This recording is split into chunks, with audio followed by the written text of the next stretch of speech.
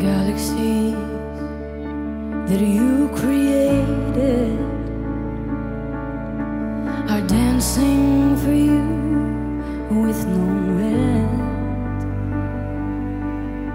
The sun and moon that you molded stop each and every day and bow their